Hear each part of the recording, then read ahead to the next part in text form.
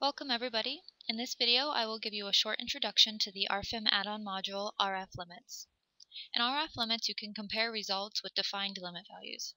For example, you are able to design connections, check cross-section dimensions, or compare provided internal forces with the limit internal forces. This add-on module is also available for RSTAB. Here we have a model of a projecting timber roof. The loading and combinations have already been entered for this example.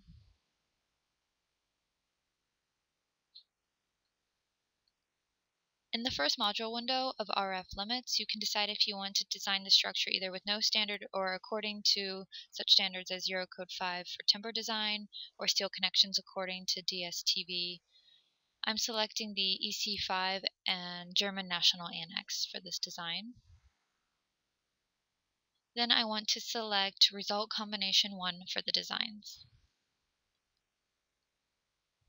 This dialog stores the corresponding modification factors as well as the partial safety factor of the National Annex.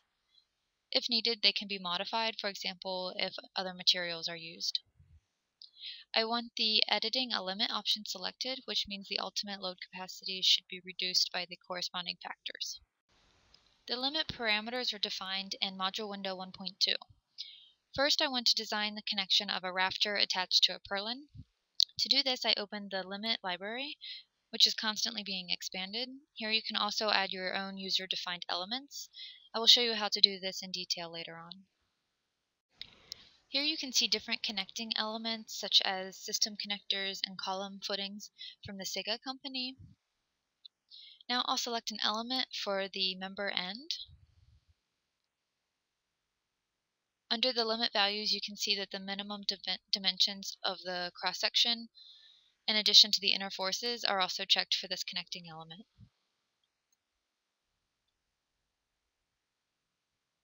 In this example, I select the rafter as the member. Then I define the service class as service class 2 and select solid timber for the factor category.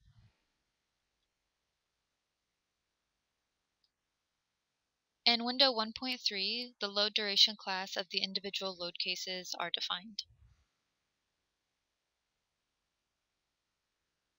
Now we can run the calculation.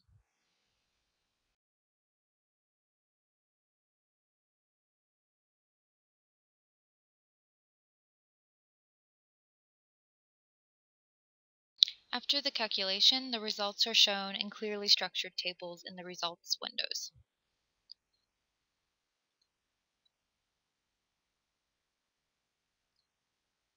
Here you can see the designs for shear in Y and Z have been performed and the section cross-section depth and width has been checked as well. Now I want to design a column base connection. For the object type, I'll select a nodal support. Then I select the element uh, for the design from the limit library.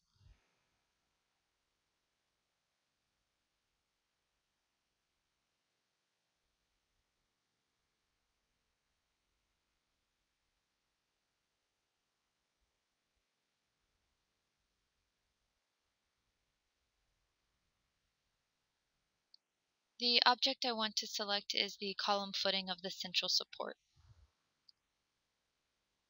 I define service class 3 for this and also solid timber for the factor category.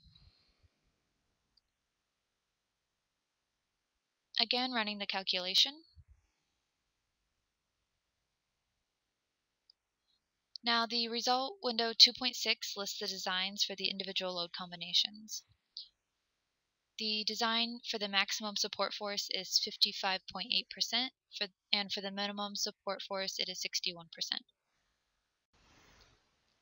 Now as a third limit, I want to check also the internal forces acting on a timber connection.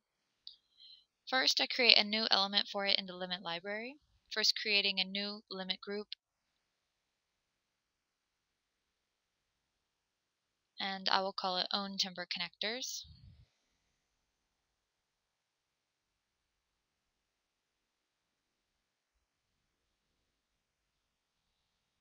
and the new limit table will be called scarf joint.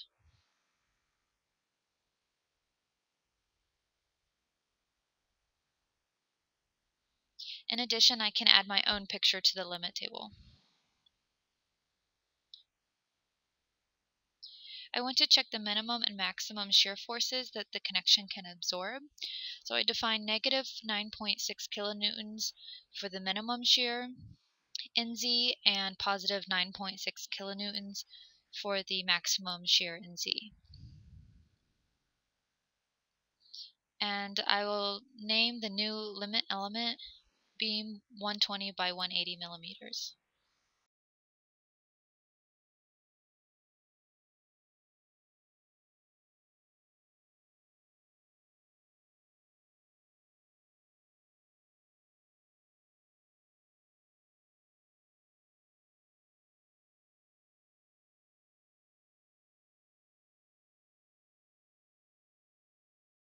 Then I select the member end on the release as the design object.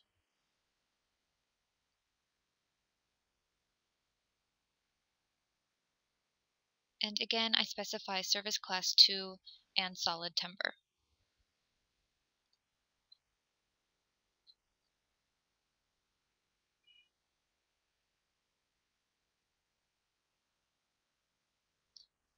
After the calculation, uh, result window 2.5 shows the design of the individual load combinations also for the connection with the timber connector.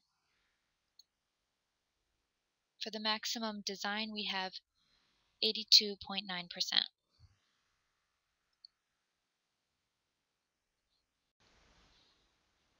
All of the input data and results of RF limits can be printed to the printout report.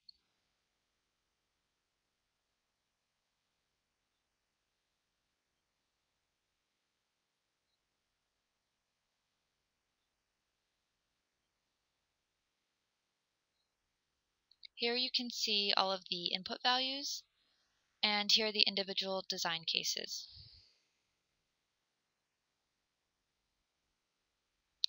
The printout report can be printed directly, or it's also possible to export it as an RTF or a PDF file. Thank you for watching this video. You can find more information about Dlubal software at www.dlubal.com.